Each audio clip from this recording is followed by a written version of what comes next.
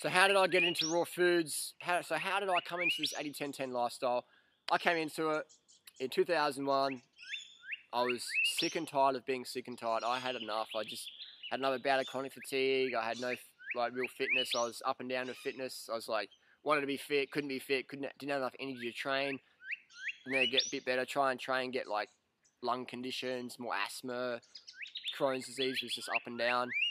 I was like, enough is enough and someone mentioned vegetarian diet to me, and I was like, vegetarian diet, okay, crazy, but I'll give it a go. I was so sick and tired of being sick and tired. I went vegetarian, felt better straight away. Cut out all my, all animal uh, flesh foods, still eating eggs and dairy. And then a week later, I was like, hang on, eggs are periods from chickens, and milk is for baby cows. I'm not doing that anymore, ever. So I ditched them.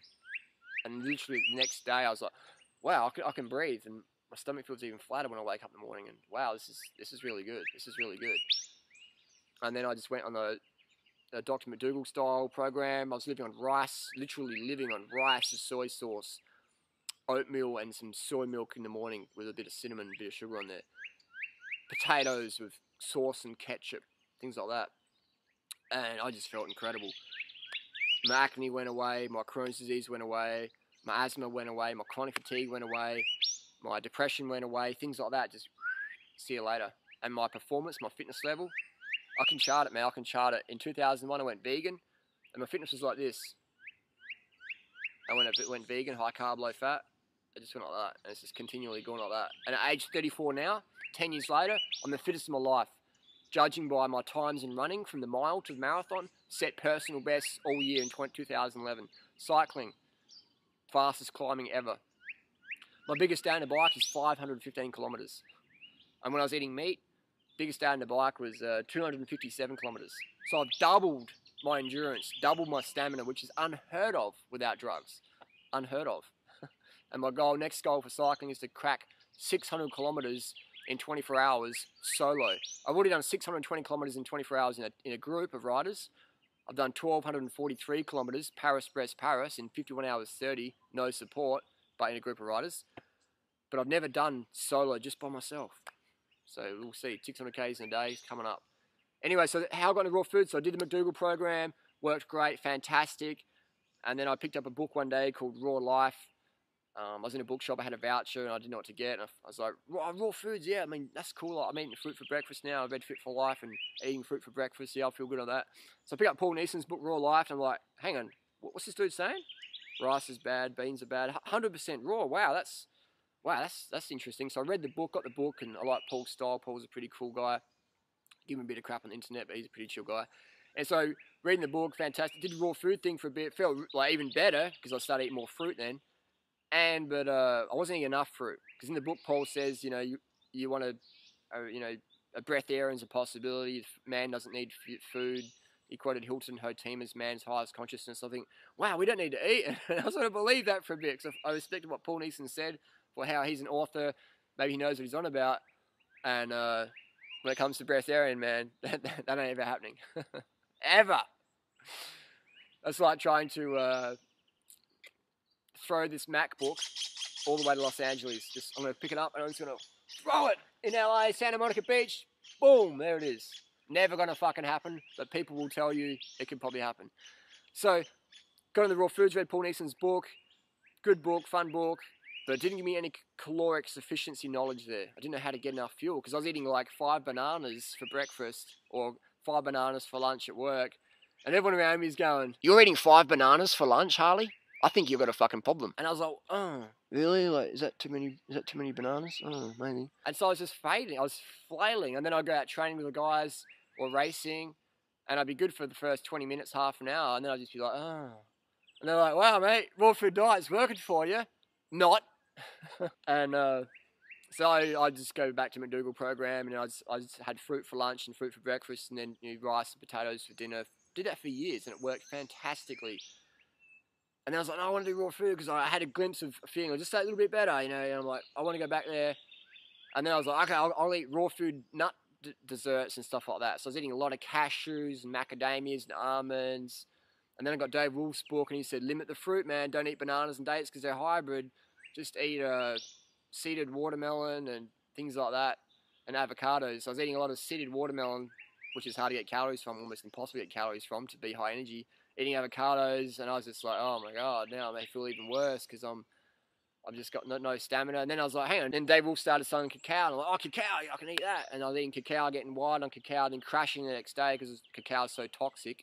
It's full of theobromine, neurotoxin, classified biologically. Look it up. C- cacao neurotoxin. And then I was like, what's going on here? And then I, I remember when I read Paul Nison's book, there's an article interview with Dr. Doug Graham. And I looked at this dude and thought, wow, that dude's really fit. And what he says makes sense. And so, I was, but I started eating more fruit. Everyone told me I was eating too much fruit, and then I read Dave Wolfe's book. I'm like, yeah, okay.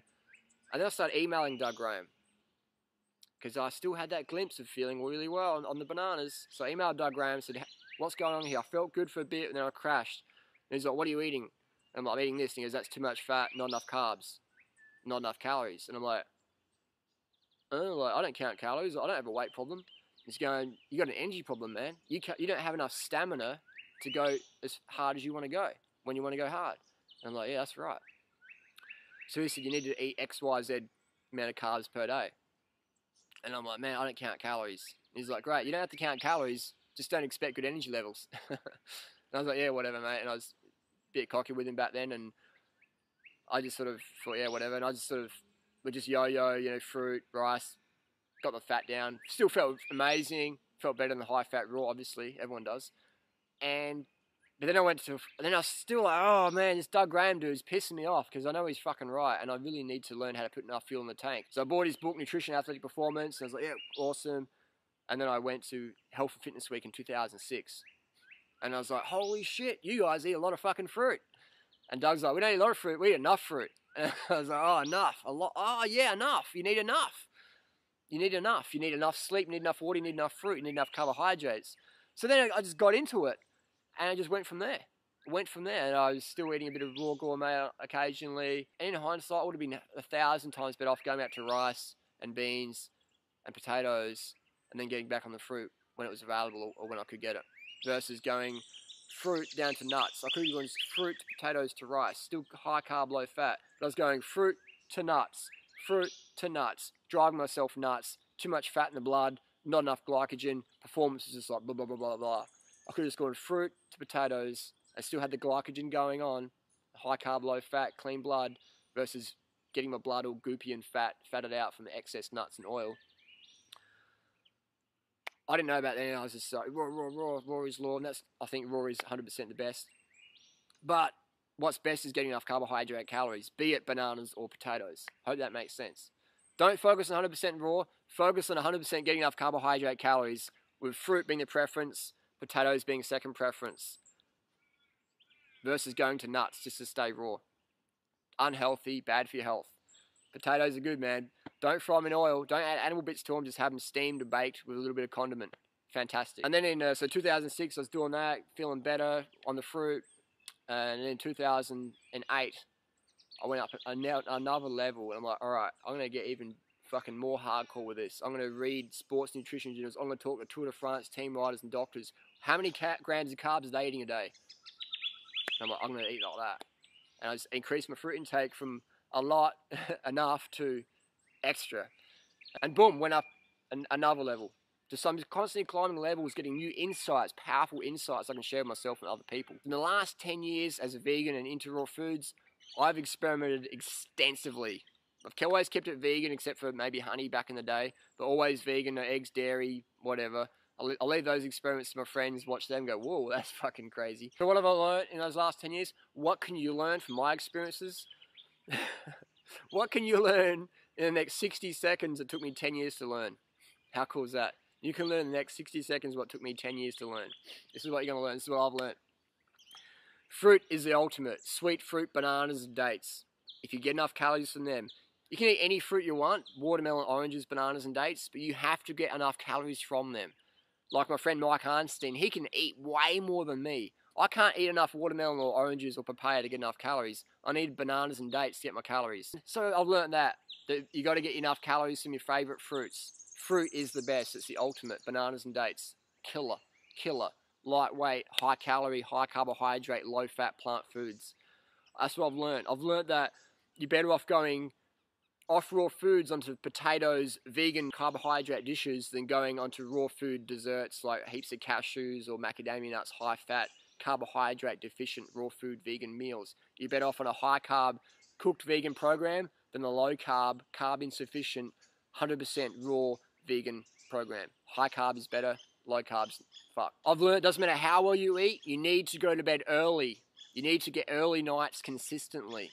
Because if you get late nights, you're going to fuck up your health. Doesn't matter how good you eat. I've learned that you need to drink enough water every day so your urine is always clear and you're peeing at least a few times a night. That's what I've learned. I've learned that all the superfood stuff is absolute rubbish and now recently we've got the Adya Clarity recall. Recall? They're recalling it because it's toxic, poisonous. Uh, hello, we were saying that for fucking ages, man. Didn't listen to the crazy fruit bat stitches. And I've learned the only supplement worth taking, regardless of your dietary choices, is perhaps vitamin B12. It's the only supplement I take, it's the only supplement I recommend regardless of what your diet is. I give B12 injections to my raw meat eating friends who are eating raw eggs, raw meat. They still have a B12 issue. Give me injections, levels jacked up, problem solved. B12 is the only supplement I recommend or take. The rest of it's just. Second biggest problem is social disapproval. People say, You ain't like a monkey. you ain't like a monkey. Huh? That's all that fruit's gonna make you fat, or you don't get enough calories from fruit. Like you can kick my ass in the bike, but fruit's not healthy. All this stuff like that. So social disapproval, a lot of people can't deal with it. Personally, I don't give a fuck, man. I follow my heart. I follow health. I follow having fun. I don't give a fuck about the status quo, jealous fuckers, haters, drinking haterade, slipping on haterade, whatever. I don't really give a fuck about that anymore. I used to 10 years ago. I've learned just to not take anything personally. Sometimes people change, they regret what they say to you, so don't take it personally, don't freak out. Eliminate excess drama from your life, have fun, be the example, be the change you want to see. Who we are speaks so loudly, no one can hear what we're saying. People, if Dave Wolfe wants to sue you or what, don't take it personally. Just keep doing what you're doing. Mean what you say, say what you mean. Those that mind do not matter, those that matter do not mind. And social disapproval. It's the two biggest hurdles. Situational inconvenience, can't get enough fruit. Second one, social disapproval. Just don't take it personally. So be organized. Don't take things personally. That's what I've learned my raw food journey. Hope that's of some help. This is a fucking video I would have paid fucking $10 million to have heard back in 2001 when I thought, okay, I want to get into raw foods lifestyle. What do I need to know? So that's what I've learned. This is like a 10 minute video, 15 minute video. It took me 10 years to work it out. you lucky buggers. You're getting the secrets now. For free. Cool. I'm just, I'm just giving stuff away, man. That's what life's about, man. Just giving and sharing, receiving and giving. It's one and the same.